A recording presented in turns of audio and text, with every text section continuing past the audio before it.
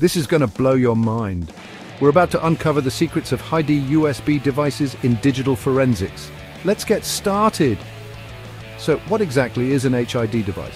HID stands for Human Interface Device, which includes gadgets like keyboards, mice, microphones, and even sneaky hardware keyloggers. These devices leave trails in your system, and it's our job to find them. First, head over to the Registry Key System Current Control Set Enum HID. Here you'll find crucial artifacts like the vendor ID, VID, product ID, PID, and those all-important timestamps. Pay close attention to subkeys named 0064, 0066, and 0067. These hold Windows 64-bit file time timestamps, showing when the device was first connected, last connected, and last removed. Remember, these timestamps can be your best friends in tracking device usage. They help establish timelines and verify user activity. So next time you're on a case, don't overlook those HID devices.